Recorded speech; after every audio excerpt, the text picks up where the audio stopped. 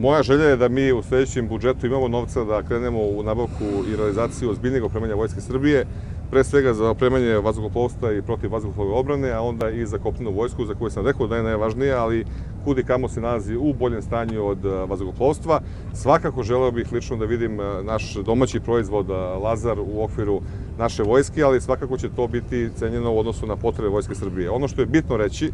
i baš ovde evo, u Nišu i na, na jugu Srbije, to je da smo mi učinili i napore da se u ovoj godini, posle 17 godina, uvede nova uniforma, da ta uniforma je proizvod domaćeg proizvođača Junka i da je to nešto apsolutno u skladu sa standardima svetskim i jako je važno da, kažem, utičemo i pomažemo našoj privredi da upošljava radnike.